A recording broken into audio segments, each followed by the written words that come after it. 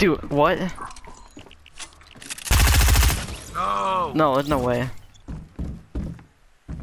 I just got aimbotted. I got